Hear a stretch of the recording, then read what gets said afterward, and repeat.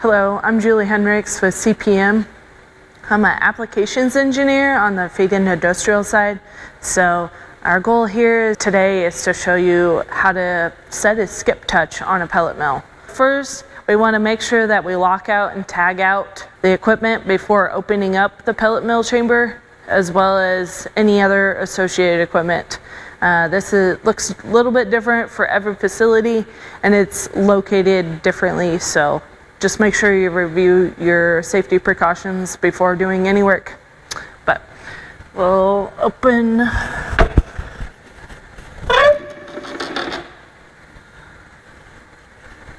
a little bit about the pellet mill. So looking at the die cavity here.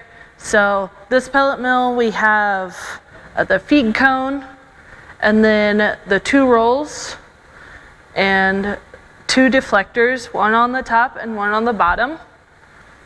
And then at the very back, we have the wipers, one on the bottom and one on the top as well.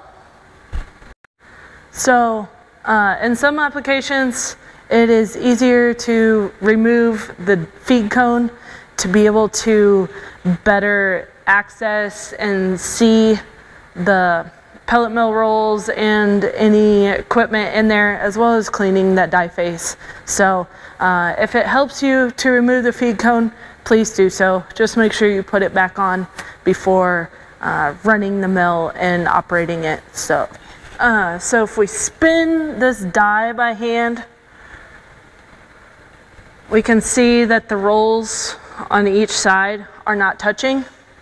And so what we'll do is uh, you may have to adjust the adjusting keys, these the brass pieces right here, one on each side. Uh, the goal is that we want to end up with these and about uh, evenly spaced between these bolts so have even amount of space on the bolts on the top and the bottom which they're pretty close right now but we also want to get it to do the skip touch which the skip touch is that we'll want to get each of these rolls to spin about one third of the time uh, approximately as this die is going around. We don't want them to spin all of the time. That's called a full touch. And that is not what we want. That will cause premature wear as well as other issues potentially. So uh, before setting the skip touch also, we want to make sure that the die face is clean. And so we're setting it on a, an even surface so we don't have any debris in there. That's the rolls are going to touch on and then give us a false uh, reading. So, so uh, how earlier we were talking about we want the keyway to be in the middle in between those two bolts. Um, this one, as you can see, we're getting a little high um, away from that even and over here we're getting a little low. So uh, what we're going to do is to try to move these one gear tooth. Sorry, over here it's better. Um, and then readjust and see what that looks like. Um, so as you can see, like we were talking, um, the adjusting key here, it's a little off center and so we'll move it and um, then adjust it.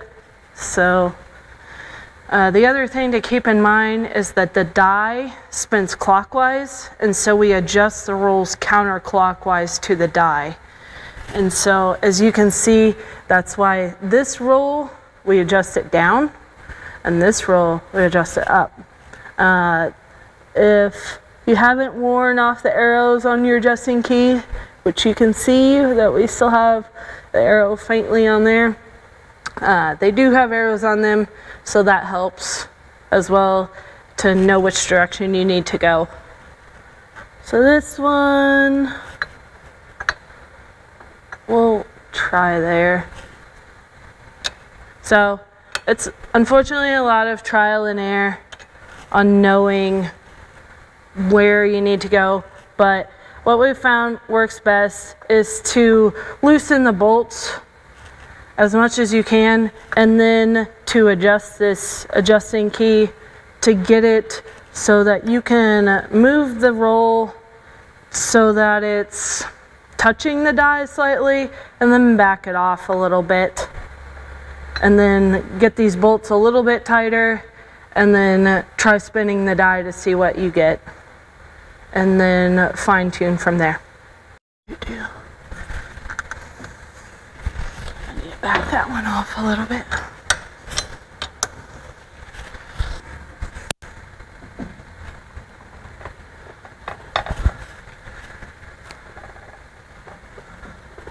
So as you can see, this roll uh, here on the right, it is turning some, but not the whole die, which is what we want. Whereas this left roll, we gotta go a little bit tighter, but not too much.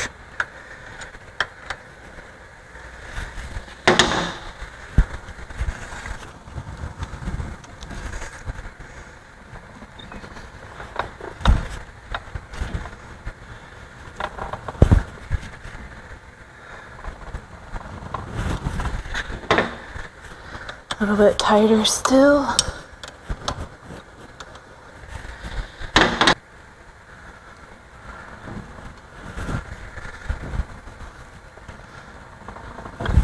There is about where we want it. So this roll on the left, it's catching and it's spinning about a third of that diameter of that roll, like we said, as well as the right roll. So we'll tighten up these bolts and then we'll be good to go. So now we got the rolls set to what we call the skip touch. And so if we spin the die, we'll see them uh, essentially turn with the die and then skip, where they won't turn at all. So we'll demonstrate that now.